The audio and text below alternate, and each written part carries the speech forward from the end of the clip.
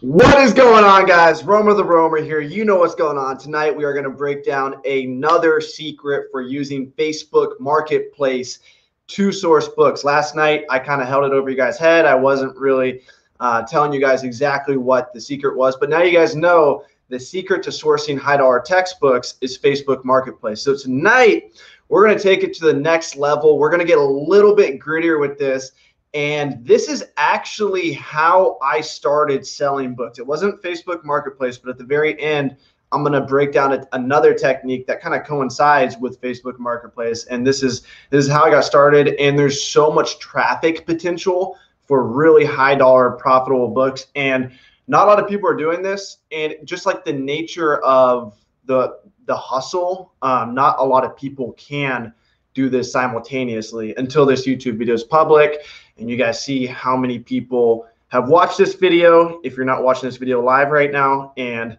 that's how many people you're competing with. I'm sorry I, I put it out there so now everybody knows. So without further ado let's get into this. Comment where you're from by the way so i can destroy your city because we're going to be doing uh, some some live uh, sourcing. I'm going to go on facebook.com and i'm going to source live while you guys follow me along so I made a little PowerPoint for you guys. Check this out. Check this out, baby. We got a Canadian in here. Okay. So there's two techniques and they're both legal, but they can get sketchy. And if the wrong person watches this video, these techniques can get sketchy fast. So make sure you're ethical, make sure you're being upfront with people. When you're using these techniques, don't screw people over because there's $100 textbooks out there to be had. We just have to get them ethically. Uh, so get more profitable books, baby. That's that's why we're here. Uh, with less competition. So get up to date books with high demand on Amazon. And unlike online arbitrage, which I'm going to be covering tomorrow night, uh, these techniques allow us to constantly, consistently get up to date books. We're not going to be getting books that are old or that don't have uh, really good demand. The, the books that we get, you could not know much about selling books on Amazon and you could do this hustle just because by doing this hustle, you are surrounding yourself with very high demand books. They're in circulation books. These books are in circulation at colleges, on college campuses. So in categories that sell for massive profits. So this is really important. It's one thing to get books that, you know, are a certain category, maybe they're more likely to tank. I think things like gender studies and these really kind of like wishy-washy subjects aren't going to hold their value long term. We'll see. Maybe I'm wrong, but I think things like chemistry, law, uh, engineering, these types of books are going to be hold their value over time. So, excuse my mentee's language. He's going to get my channel demonetized, but uh, I actually told him about that hustle I introduced to you guys last night, and I'll link that other hustle below. The, just the raw Facebook Marketplace hustle where you get people to ship you their books. Uh, he just got 10 textbooks and they're all 150 to 200 dollars. So 150 to 200 dollars for books. I don't know how much he paid for them i don't know if he paid for them up front. Uh, i recommend you don't pay for them until they actually arrive at your house. Uh, that's probably what he did.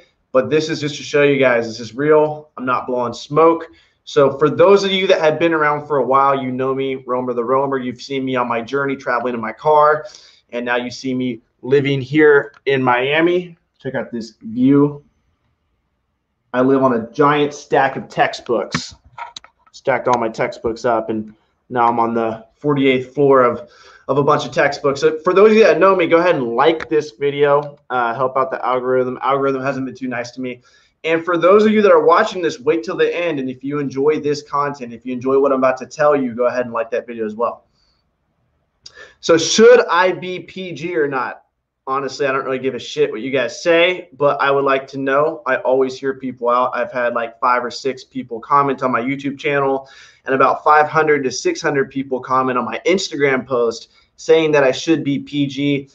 I'm already, guys, you know, I'm already the most traveled bookseller in the community. And uh, as of two days ago, I'm the smartest bookseller because I got my IQ tested. Do I really have to be PG? Almost all the other booksellers are PG. Don't you guys want something? Some don't you guys want some fun? Let me know. It might be better for YouTube um, analytics, but we'll see.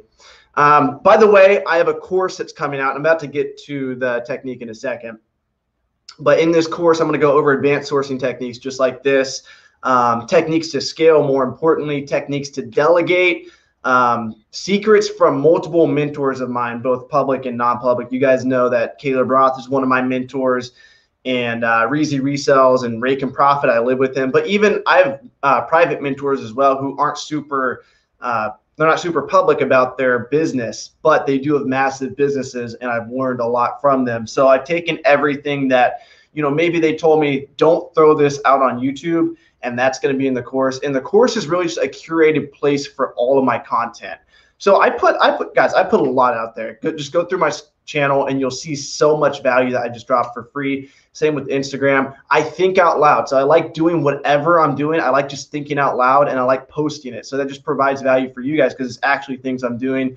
And I like most of my stuff is free, but this is a cur- curated place where you can access all my content in a very organized place. You guys can can tell I've been more organized lately because now I'm making PowerPoint presentations on YouTube. This is something I would never do before but I've literally I've made over 70 videos for this course, so I'm very like linear thinking right now, so it's good. Uh, so click on the link below after this video or during if you want to go check that out and step your book game up. Link is in the description. So what is this marvelous technique? You guys already know about the Facebook Marketplace hustle. This technique is within Facebook Marketplace and ex it extends to outside of Facebook Marketplace. So what we're going to be doing is joining niche college Facebook groups. Okay? We're going to be actually be joining these college Facebook groups and we're going to be looking for it's really good to find the class of groups. So here's me infiltrating my way into one of these Facebook groups. So Vanderbilt class of 2022. Feel free to go in this Facebook group and try to hustle some books yourself. But you can see I posted back then. I'm going to teach you guys how to do this a little bit better than me. I already have some arrows in my back. I already know what to do uh, or what not to do, rather, because I've already made these mistakes. But you can see what I put was for those of you interested in having me sell your books on Amazon, please read the instructions below. When I sell books on consignment, it's a 50 50 split on net profit. So you guys can go the consignment route. You guys know that I love consignment because I run restricted inventory.com. I got to put this out there real quick. I made this little uh, intro for restrictedinventory.com, but it's a business where I sell your inventory 50 50 split net profits, popular textbooks, CDs, DVDs, anything you can't sell on Amazon. Check this out. Grind hard, well done, sir, and welcome to the freaking well show.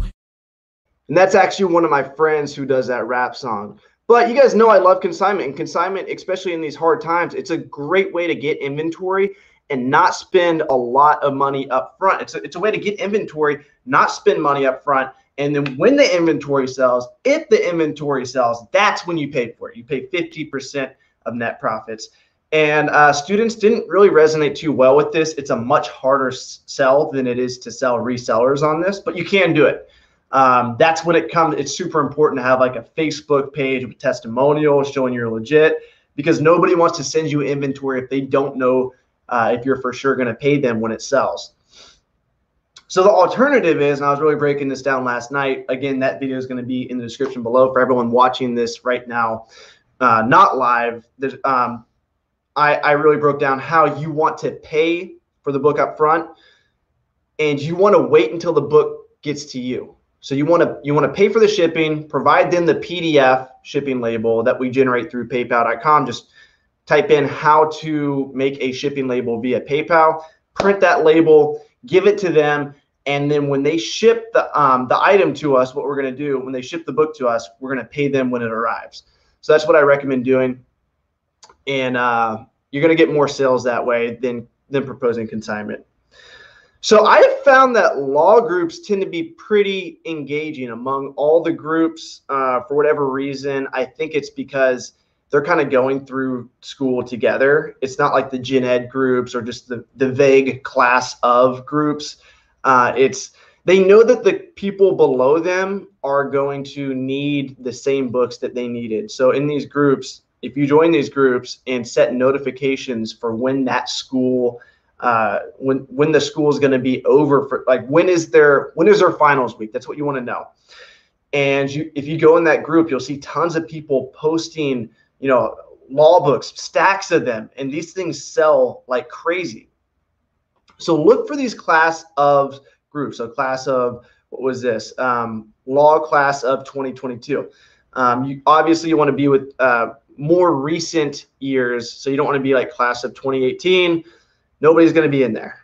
So you want to make sure it's it's class of 2022, 2023, 2024, and uh, what you can do, so you, you can just kind of cherry pick throughout the group, but you can also make a post that says you are looking to purchase books if anyone has them because you have a small book business on the side.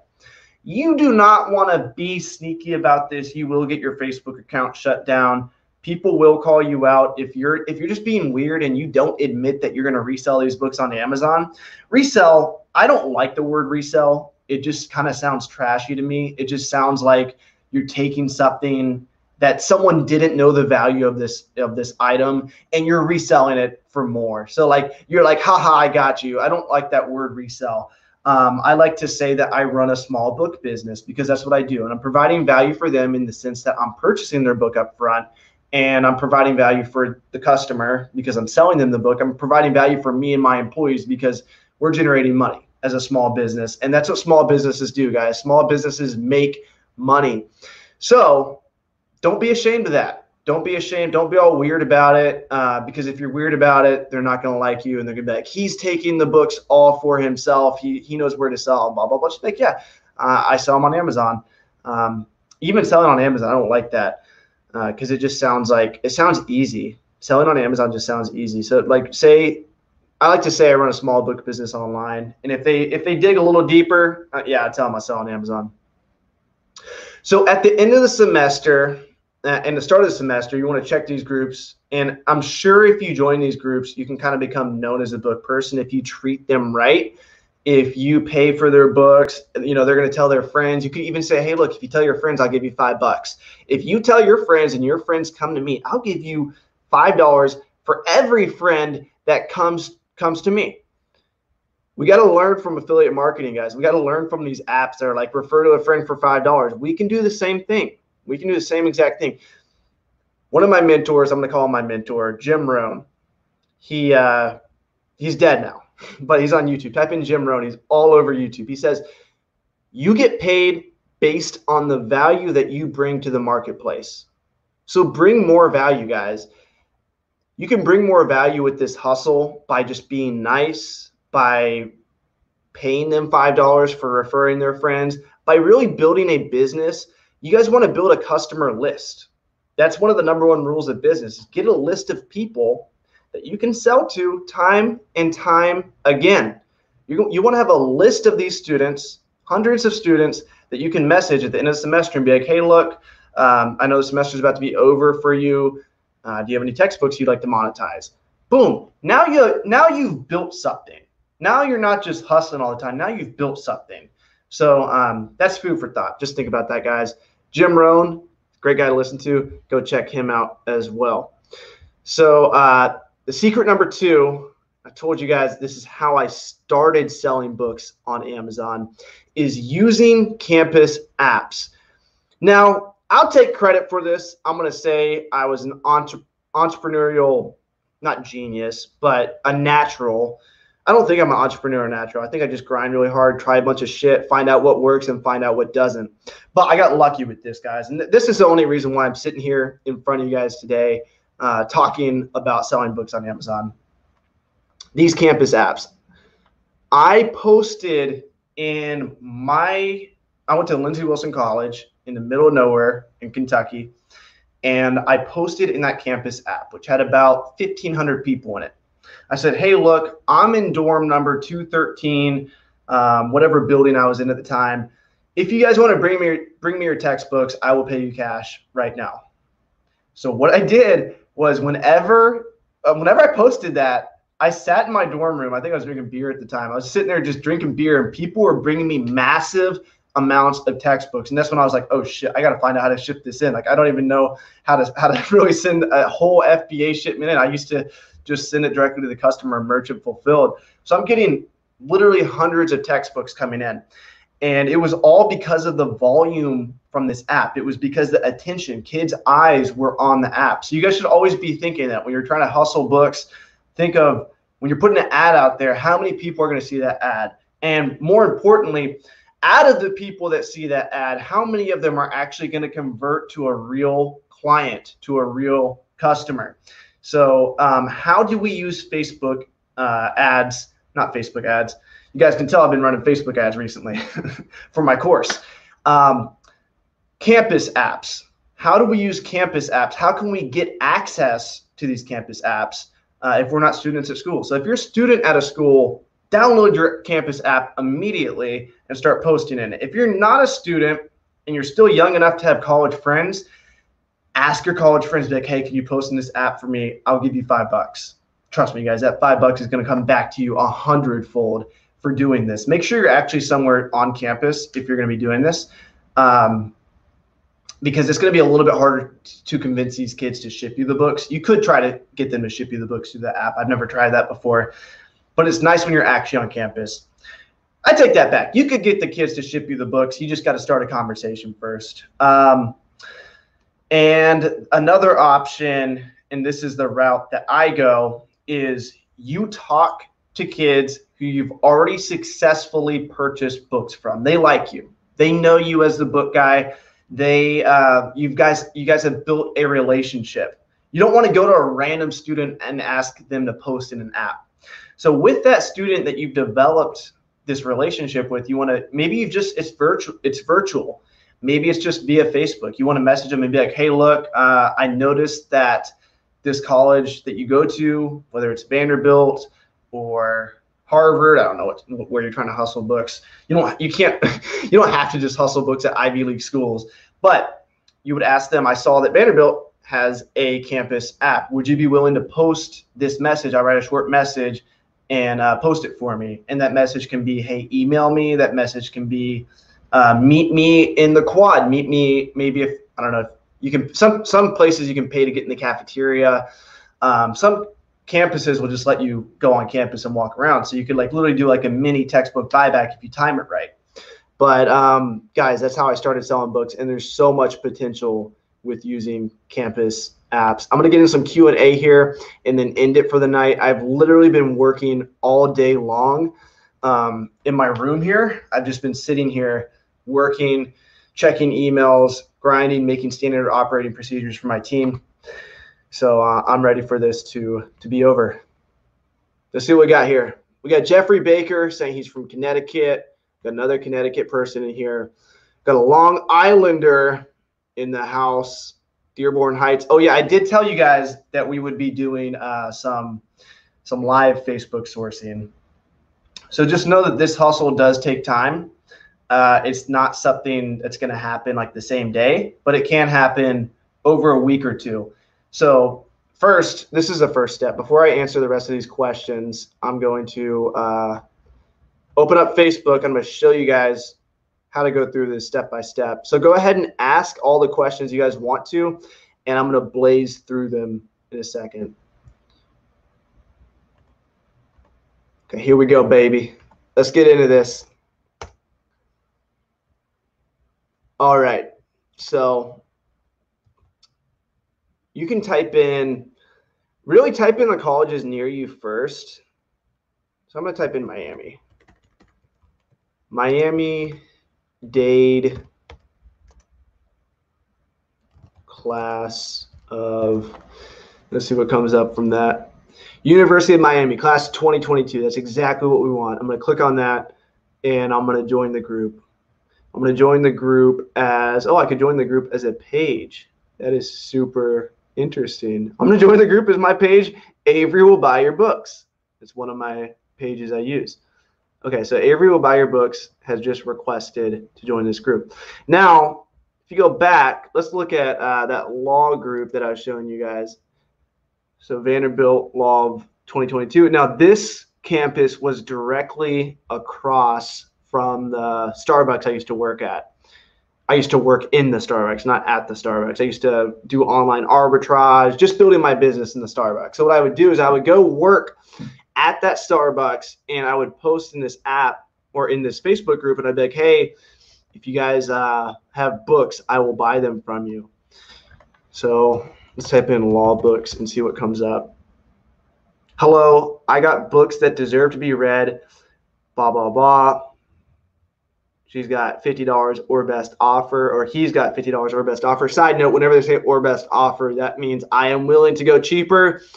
Please bid lower than whatever my original price was. So with all these, what I would do is add them all up together and offer less.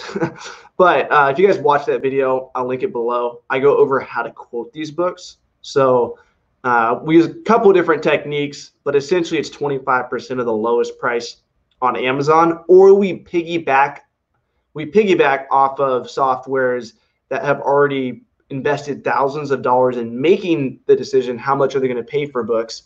Softwares from big buyback companies we piggyback off of those and we make our decisions that way.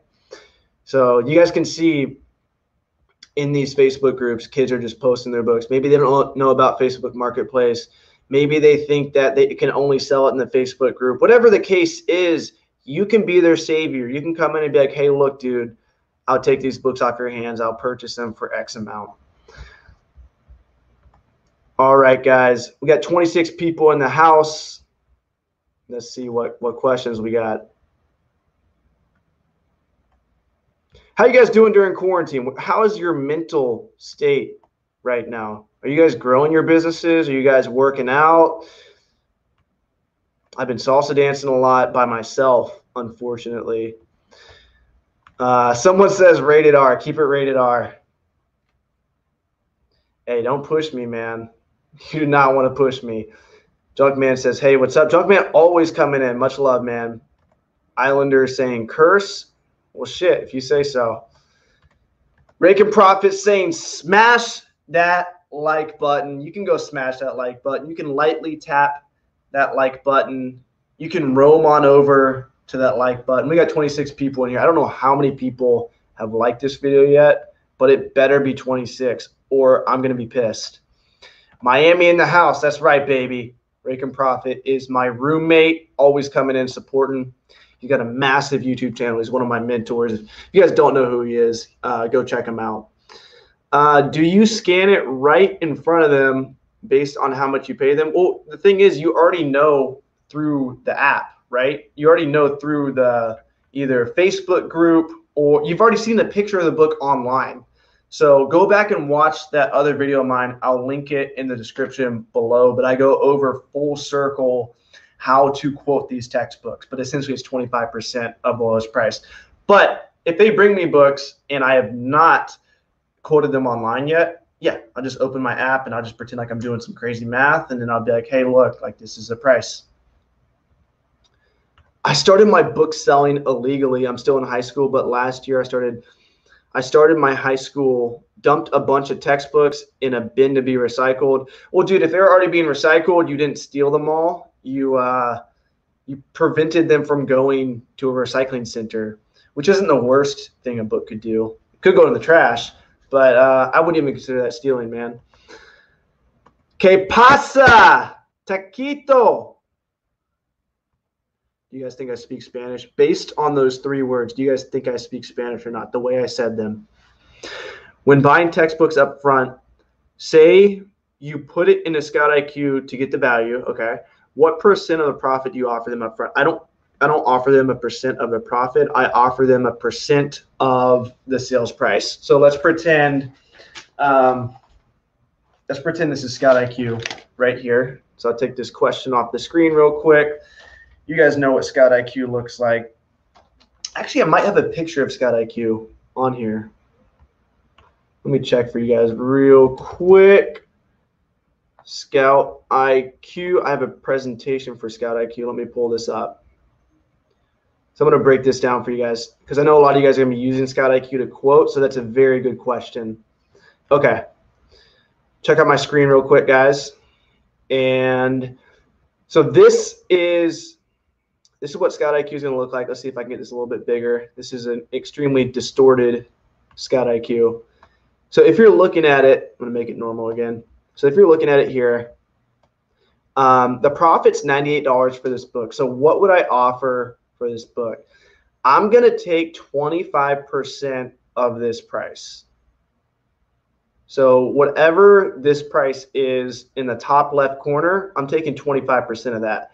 The reason why I'm doing that, that's the safest way to do it. If you give a percent of the profit, you got to realize Scout IQ um, is an app to make you money. That app is it's made to make you money. So Scout IQ knows that you can sell the book FBA for massive profits. And so by selling a book FBA, that um, it's going to bring the price, the profit way higher than if you sold it merchant. So we always want to go off of a low merchant because sometimes there's crazy prime bumps. It might say the book's going to make you 120 profit, but the low merchant price is only $20. So if the low merchant price is only $20, that means the lowest used price on Amazon is $20. Why would you pay more than $20 if you could go on Amazon, which we're going to talk about tomorrow night? We're going to talk about this technique. But if you can go on Amazon and purchase it for $20 and sell it FBA for like 140 and make a hundred bucks, if the price is $20 on Amazon, why would you pay a student more for that? So that's why we don't give uh, we don't get percent of profits on Scout IQ. We always always go low merchant. That's the way you're going to protect yourself. So make sure you guys do that. Katie Morgan coming in the house. He uh, or she is she's answering some questions so many colleges shut down right now. Beautiful opportunity. Yeah. Yeah, there's a lot of people there's a lot of people that aren't able to go sell their books back to the bookstore. So you can be the bookstore. Oh, you sometimes you got to dig a little bit. There's a there's a hustlers out there. There's those kids that know how to hustle and, and maybe they saw Gary Vee post and they know Facebook Marketplace is the place to sell stuff. So they're going on Facebook Marketplace but there's kids that have no, there's kids that aren't even thinking, I have $100 textbooks, I should sell them. There's kids that don't even think about that at all. So how do you get to those kids? You get to those kids through campus apps, through Facebook groups. That's that's what we just talked about right now. Um, and there's other techniques too. Katie saying you absolutely do not speak Spanish. Hey, I don't speak Spanish, but I dance Spanish. Yeah, it wasn't illegal. He's a hero for saving those books. Damn right. Well, if you guys thought that that uh, content was valuable, go ahead and like this video, subscribe, make sure to hit the bell. I'm going to be dropping massive value over the next couple weeks, over the next couple years. So make sure that you are subscribed. If you guys have not already checked out my my course, um, if you guys are on the wait list below, sign up for the wait list. My course is dropping in like two days. So make sure you're on that. Even if you guys don't want to buy the course, at least get on the wait list so you can have the option to buy it. I mean, if you guys, let's think about this. If you guys can flip a couple hundred dollar textbooks, that's going to pay for the price of the course. Right now, the price of the course is 297. It's only going to go up over time. 297 is a price right now, and we might raise that to 497 or even even higher, especially as we continue to add like more not niche, but not secret necessarily, but secret in a way, but this very like sensitive information to the course. So you guys are going to be in there for that. Um, much love, guys. Peace out. Like, comment, subscribe, dislike. Do what you guys got to do.